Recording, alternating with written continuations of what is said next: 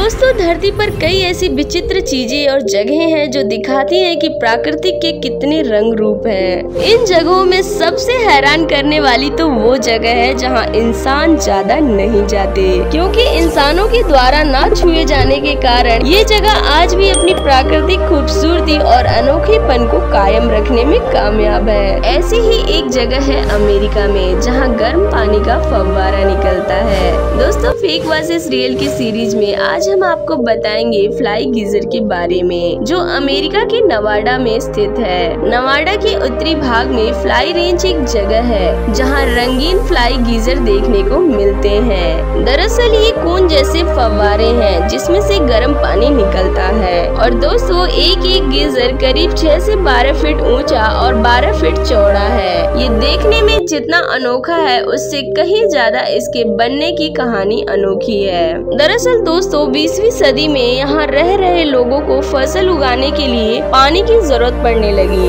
और fly range एक रेगिस्तानी इलाका था। तो वहाँ सिंचाई के लिए पानी आसानी से नहीं मिलता था।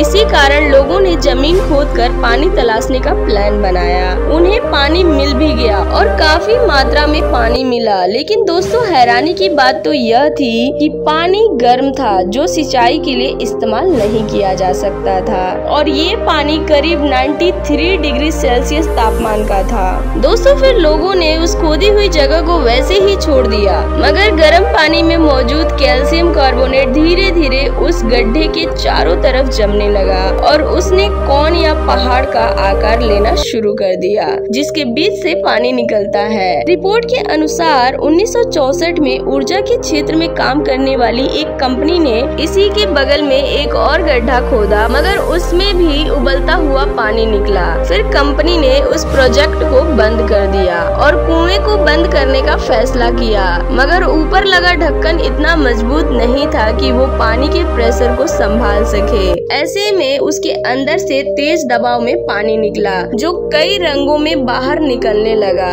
और केमिकल रिएक्शन के कारण गीजर का रंग बदलता गया।